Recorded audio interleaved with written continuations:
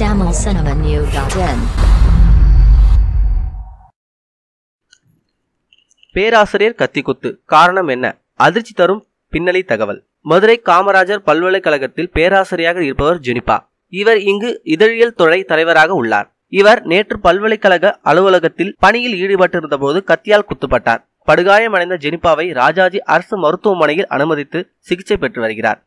கத்தியால் குத்தியவரை போலீசார் கைது செய்து விசாரணை நடத்தி வருகின்றனர். போலீசாரின் விசாரணையில் ஜெனிபாவை கத்தியால் குத்தியவர். முன்னாள் வரிவுரையார் ஜோதிமுருகன் என்பது தெரிய வந்தது மேலும் அவர் தனக்கு வேலை இல்லை என்று கூறியதால் ஆத்திரத்தில் கத்தியால் குத்தியதாக கூறப்படுகிறது.